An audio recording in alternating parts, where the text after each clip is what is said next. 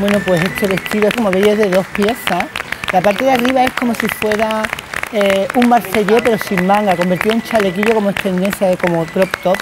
Falda está cortada al talle y volantes al hilo, combinando muchos tejidos. El que va entrando es una maravilla, además muy cómodo porque es una falda de capa, ¿vale?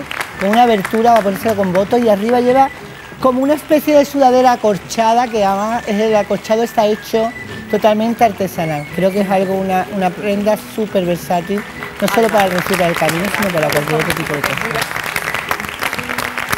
Bueno, esto es una falda, una falda pantalón, ¿vale? Perfecta para el camino. Aquí estaba mezclada con una camiseta de punto negro, pero bueno, se puede mezclar con cualquier tipo de cosa.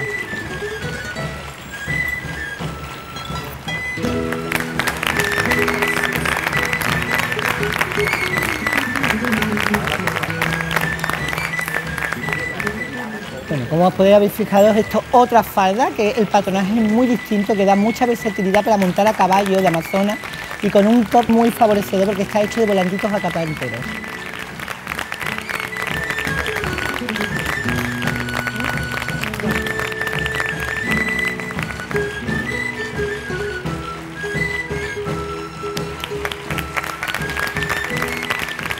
Rocío y flamencura, esto es una falda canastera de este tejido de cachemir, totalmente cómodo y agradable y una camisa muy muy muy trabajada en la que podemos ver que todo el trabajo lo lleva en una manga.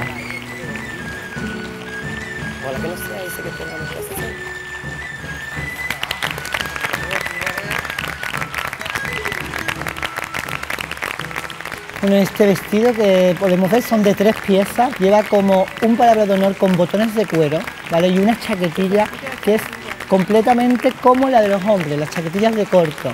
Como podemos ver toda esta colección en general, que lo más importante es la comodidad, la mezcla de tejido y lo que nos recuerda al campo.